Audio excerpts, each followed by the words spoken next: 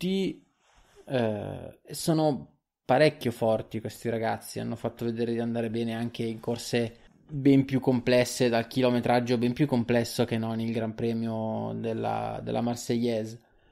E io direi che per entrambi può essere l'anno della definitiva consacrazione ad un livello eh, molto alto. Poi sapere dove possono, possono, arrivare, questo è magari un, po', un pelino più, uh, più complicato. Però me li aspetto, me li aspetto, mi aspetto di nominarli e di sentirli nominare spesso in stagione. Vi sarete chiesti perché Primo gli ha detto non ti mettere a ridere, la domanda era così seria. No, perché questo, questo aspetto era stato, era stato, oggetto di un appunto che andava e veniva nei, nei, nel nostro foglio su cui scriviamo i nostri appunti.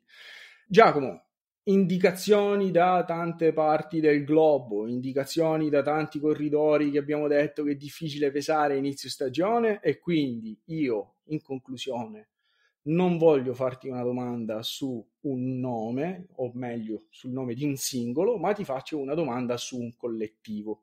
Abbiamo uno a caso. Uno a caso. Abbiamo avuto delle conferme, smentite, eh, impressioni in questo inizio di stagione da parte di qualche squadra in particolare e che tipo di impressioni sono state? Qual- qualche squadra a caso, quella che ti addormentavi e vincevano loro, ti svegliavi la mattina e vincevano loro. Vabbè, chiaramente riferimento alla Quick Step è stato molto divertente la cosa con Stibar e, um, ed Evenains tra Vuelta San Juan e, uh, e Cadel Evans Great Ocean Road Race perché sono andati a letto a mezzanotte quello che era visto l'ultima notifica su Twitter. Ah, vinto, vinto Stibar con una bella azione da finisseur alla Vuelta San Juan.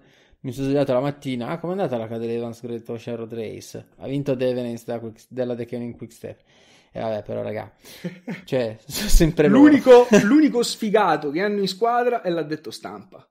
Fa una vita di merda che deve passare tutta la giornata a scrivere che qualcuno della squadra ha vinto e a fare post in continuazioni per dare comunicati sulle infinite vittorie della Deca Unic giorno, notte, pomeriggio, sera. Vincono ne sempre. Hanno...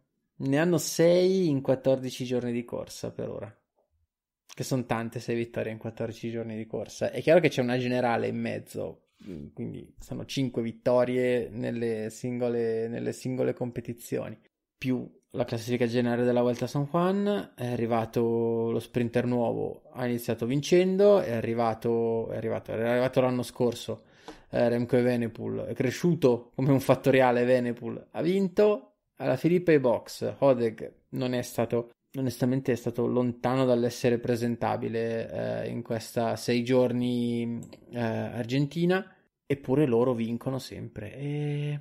Primo, eh, sì, cosa che ti dica? Guarda, c'è poco da dire, peraltro con... Uh... Un collettivo a caso. Sì, con Alaphilippe, con Alaphilippe che si è dovuto ritirare la Vuelta a San Juan, con Odeg eh, che non ha fatto benissimo in Argentina, ancora un po' così cioè riescono a sostituire un nome con un altro, riescono a imporsi in certi contesti che, in cui l'anno prima si erano imposti in volata, quest'anno alla Cadel Evans Great Ocean Road Race e questo ho pensato molto questa settimana, cioè l'anno scorso avevano l'uomo per vincerla in volata e l'hanno vinta in volata, quest'anno c'erano l'uomo per vincerla in volata, la corsa non si è risolta in volata, si risolve con una fuga a 17 in cui, cavolo, ne avevano uno soltanto ed era un ragazzo di 36 anni, veterano di lungo corso, che in carriera aveva vinto 6 volte, di cui 4 in un anno solo. Cioè, la vincono con lui. È una cosa che secondo me non è soltanto frutto del caso, anche in questi contesti, cioè, c'è un lavoro dietro molto importante. Mi ero segnato una cosa che avrei voluto dire prima, rubo soltanto un minuto per dirla adesso. Abbiamo parlato del velocista di punta di Bennett, di The Koenig che è Sam Bennett, L'anno scorso abbiamo fatto qualche battuta su Bennett, sul passaggio di Bennett alla The Keunic. Non so se ricordi Giacomo, lascia in un contesto dove c'è molta Battute? concorrenza. Sì? Ah, sì, sì. Sul fatto che lascia un contesto in cui c'è molta concorrenza e va a finire in un altro contesto in cui ci sono Jacobsen e Ode. Che ti ricordi che di sta cosa si è parlato tanto, sì, sì.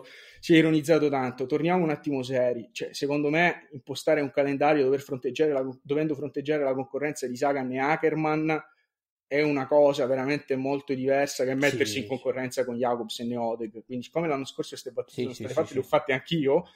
Quest'anno si trova in una situazione veramente molto diversa, no, no. assolutamente non Adesso è il primo violino, eh. Adesso è il primo violino. Jacobsen è un ottimo velocista, un grandissimo corridore, a me piace un sacco. Può crescere tantissimo, però ad oggi il primo violino in casa, in casa dei Koenig Quick Step è Sam Bennett per le volate. E per chiudere su Bennett dico una cosa, questo porta lo sprinter ad avere un atteggiamento completamente diverso, perché in un anno ha poche occasioni è, stato l'anno scorso in cui effettivamente non ha avuto tante occasioni, quando è stato chiamato ha risposto sempre presente.